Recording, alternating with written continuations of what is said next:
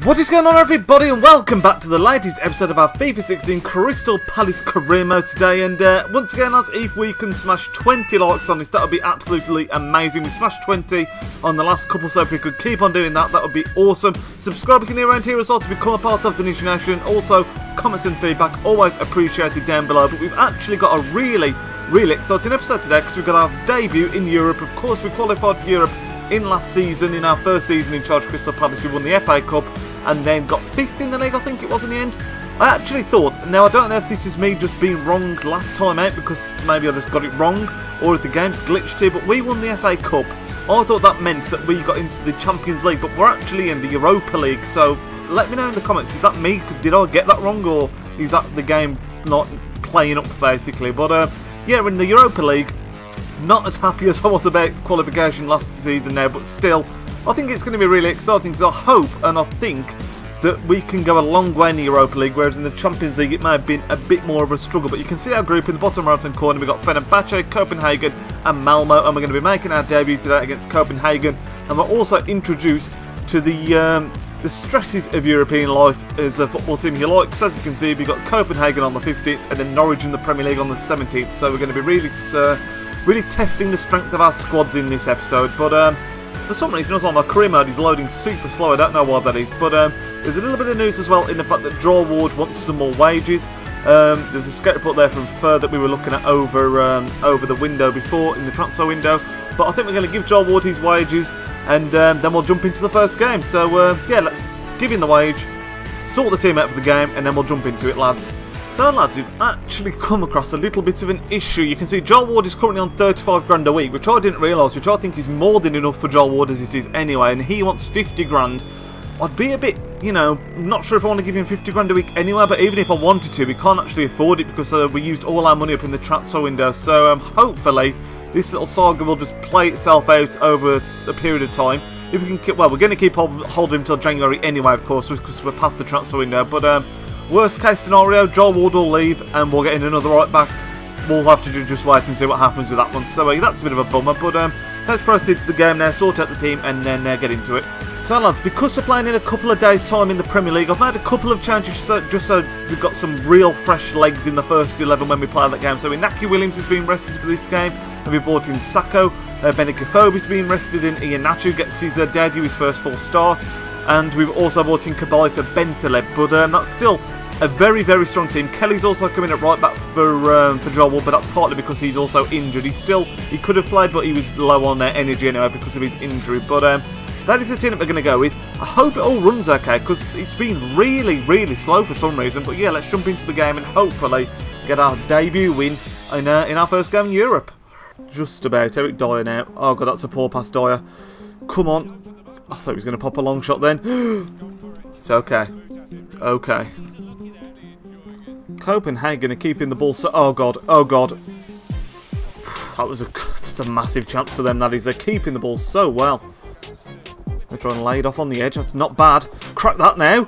Oh, I tell you what, I felt like he'd caught that well, but goes flying over in the end. No, not even close. Iheanacho did really well to lay him off there. It's probably our best chance of the game. Well played, Sako. Come on, come on. This is a chance now. This is a chance. One more, Vietto. Iheanacho even, he's found Vietto. Come on. Oh my god, he's reeling me in. He's reeling me in. It's got to be. Oh, what a chance. Luciano Vietto, you've got to be taking those. My god, I thought he'd nailed me at first and wasn't.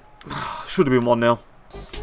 So half time lads into our European debut halfway through and it's nil-nil. Copenhagen have had a lot more shots than us, I'm going to say that straight off the bat. But um, they've not been super threatening, they're playing some good possession football but they've not really got that killer final third it doesn't seem.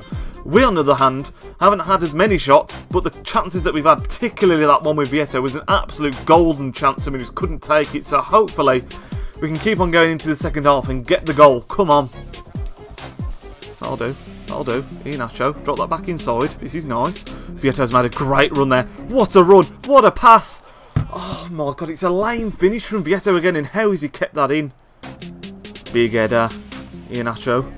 Vietto. Give again, Iheanacho. It's a good ball. Please get there. Oh my god, how are we not winning this game, man? How is he still nil-nil? We're kind of getting into the last throw of the dice territory now, lads. There's not long to go. We've made all our changes. Speaking of changes, here's one of them. Inaki Williams, can we spin inside? We can. Inaki. Oh my god, Inaki. Inaki, please! Oh my god, we, sh we should have won this game. God damn it, lads. It's full time. It's finished nil-nil. Half time in this game, Copenhagen had lots more shots and had probably edged the game in fairness, but second half, we absolutely smashed them. I don't know how we've not won that game. We had so many chances. Our finishing boots just weren't with us in that game. I mean, I think Inaki Williams had one.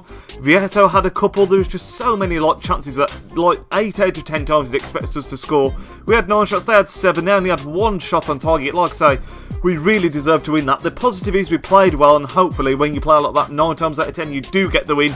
But um, it's still keeping up a little bit of a run as well because we won both our last games, drawn that one, so we're on a little bit of an undefeated streak. Hopefully, we can carry that on into the Norwich game, lads. So obviously lads, with us playing literally two days ago before we get into this Norwich game in Europe, we've had to rest a few players and this is the uh, starting 11 that we're going with this time. We've still got a pretty strong team, I mean it just shows the depth that we've managed to achieve over these uh, couple of seasons now, but being as though we've just played in Europe and two days later we've got a fully fit team with the likes of a Afobe, Callum Wilson, Jonathan Williams is in there, uh, Inaki Williams, so the two Williamses are both in there. We've got Bentaleb, Zaha.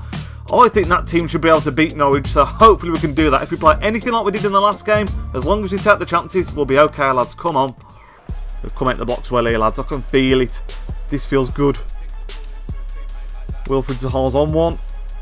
Wilfried Zaha's still on one. Oh my god, that is really unlucky. I didn't actually him to shoot myself then. That was just rea pure reactions. Dead unlucky.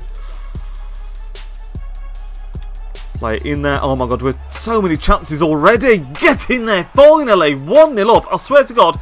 Five minutes in, we could have scored three goals already. That is how good we've been at the start of this game. We've carried on our form and the way that we played against Copenhagen, but this time we've actually put a finish to it and we take a 1-0 lead after just five minutes. And like I say, we have we just I could feel it. We came out of the box so well, and it is hammered in. John Ruddy can have a bit of a look at himself because it wasn't the best uh, best of him in between the sticks. But one 0 up. Callum Wilson, another goal for him. I think that's two in two in the Premier League.